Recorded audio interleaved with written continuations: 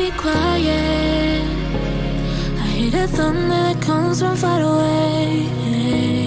It's like a noise in my